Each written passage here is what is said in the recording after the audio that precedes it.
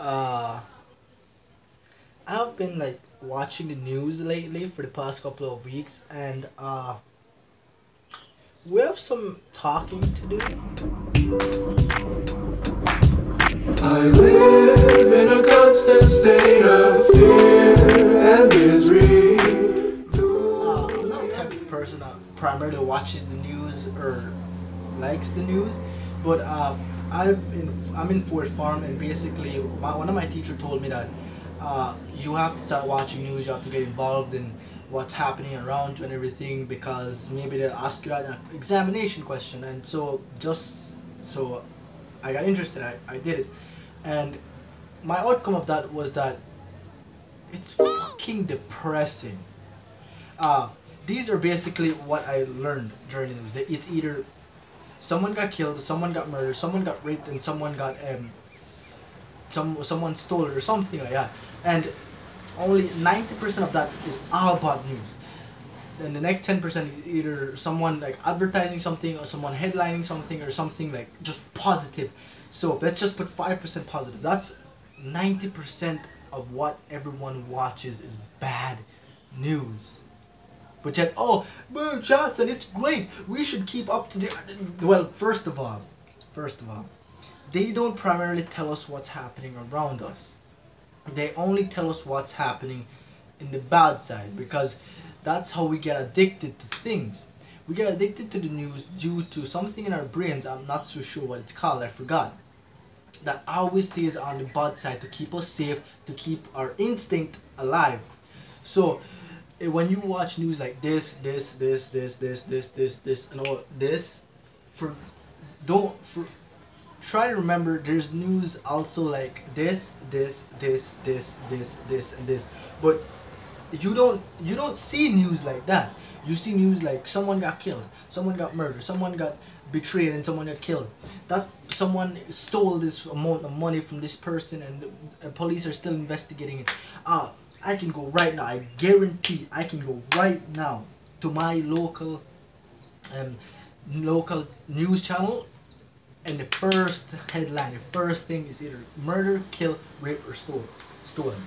I'll guarantee you that. I'll guarantee you that. Channel 5 News. I guarantee it. Boom. Retired B. Uh, boom.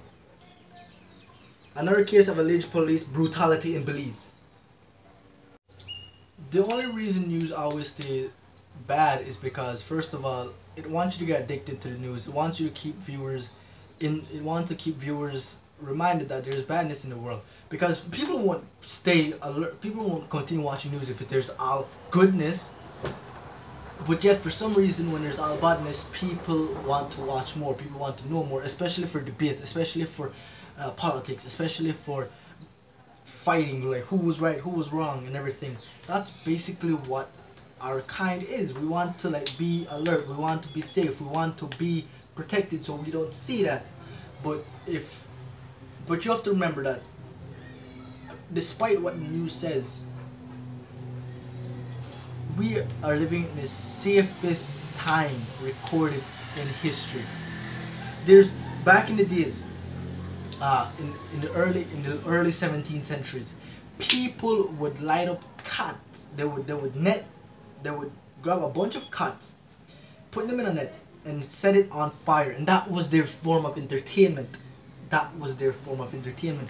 But now, we don't do that. We have things like Netflix. We have things like hanging out with friends. We have things like walking. We have things like going to the sea, and but yet for some reason we all for some reason the news always states that we are at the bad times we are not at the bad times if you go to any research history any recorded statistics on today's generation and next generation we are at the safest time in lives uh generation but not this generation is fine this generation is peaceful it's kind and i think people should actually start should watch it themselves and see it themselves instead of letting other people tell it to them or show them the bad side of the world.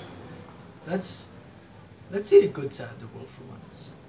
So Chick Squad, that's all I want to tell. That's all I want to get off my chest today. Um, I was I'm working on a very special video, and it's gonna come out either Monday or Sunday, and I hope you guys are gonna like it. Other than that, guys, good night, goodbye, bang. Thank you for everything.